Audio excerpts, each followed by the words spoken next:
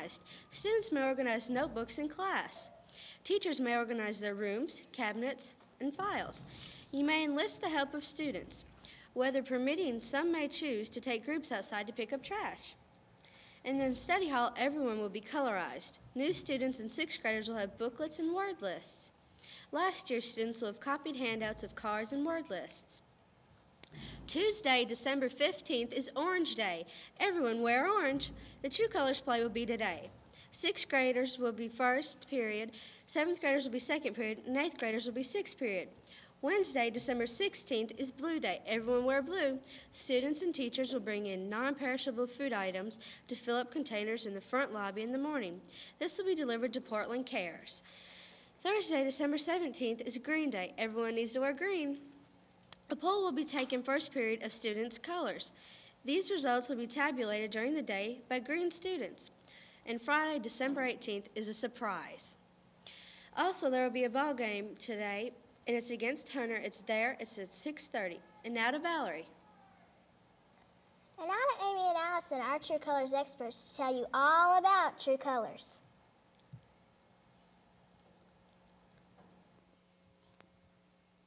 Hello, everyone. I'm Amy Scher, And I'm Allison Brown. and we're here to tell you a little bit about True Colors. Your first question is, what are True Colors? Look around you, and it seems that others are different from you. They may act different and they may look differently. This is what makes our world so interesting. However, there are also many similarities between you and other people. You just have to take the time to find and discover these differences and the similarities. The game you're going to play today is about our individual differences, our true colors. You're about to discover your personal true colors and the true colors of your classmates and your teachers. When you make this discovery, you learn that the more you know about yourself and other people, the easier it is to understand and like them, and the easier it is for them to understand and like you. And now for some of the things about gold. They're very responsible. They like to do everything right and have everything organized. That's because they will know that they get rewarded for it. Sometimes it was with money, which they like to save. At school, they like teachers who can stay at one subject at a time. This way, they can know how to do their lessons right. They like to follow the rules too. At home, everyone has their chores and they like to do their part. They like to enjoy doing extra things for the family where they can learn more allowances. How about Adventurous Orange? They like to be free as a bird. They like fun and exciting things to do. They like games and contests and go all out to win. They enjoy doing things with friends, especially when they don't have to plan ahead. At school, they enjoy entertaining their classmates. They like sports and classes where they can use their hands. They like to concentrate on things that interest them. And at home, they think it's fun when there are not many rules to follow. And now here's some from Blue. They're very compassionate. They like when everything is nice and easygoing. They try to get along with all of their friends and ease some of the people who don't like them. At school, they like the teachers who think they care about themselves and they like to read and their favorite stories are about people, animals and nature. They like stories with happy endings. At home, they really appreciate things that a family does for them and they try to get along with everyone. How about green? They like to know about all sorts of subjects. They ask questions and enjoy learning different ways to do things. At school, they get really bored if the teacher or the subject does not interest them, and most of their friends at school like them. And at home, they like to spend time alone in their room. They spend hours on their computer games, and they follow the rules as long as they make sense. And that's all for this time. Now back to our anchors.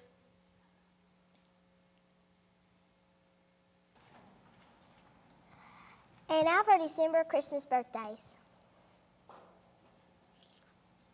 big because he eats too many cookies. So just try and refrain yourself, okay? And now back to the anchor desk.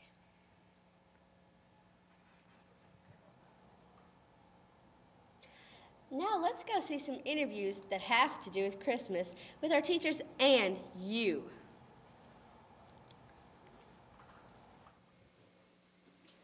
Hello, everyone. I'm Heather Steele reporting for TCN News with Shane Brown.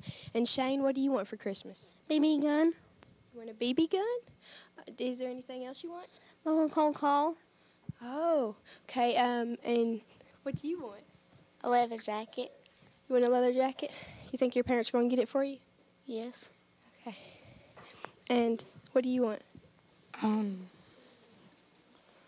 a leather jacket too. Do you ever sneak into your presents at Christmas time? Yes. Have you snuck into them yet? Yeah.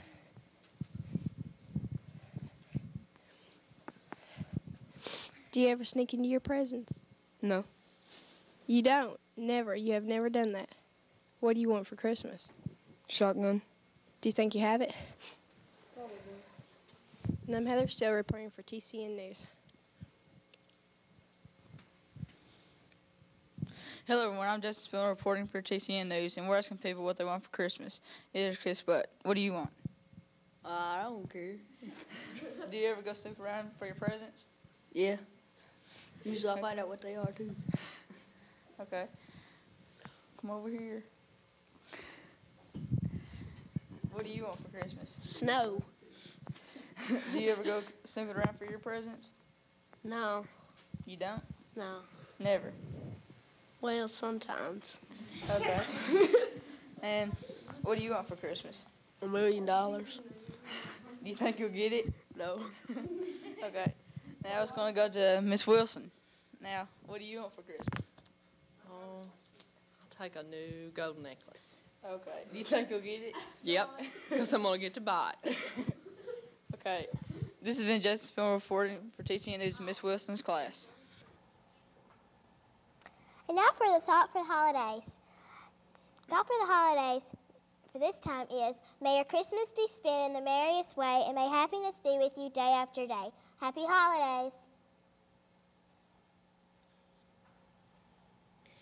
Let's go see Amy and Allison with their special Christmas story.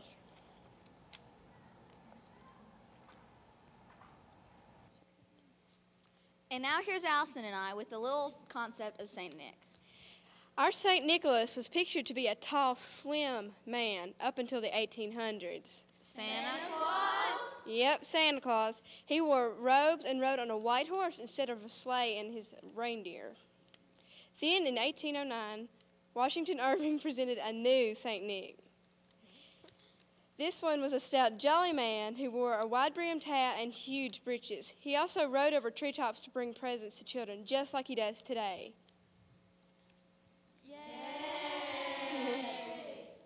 Now back to our anchors.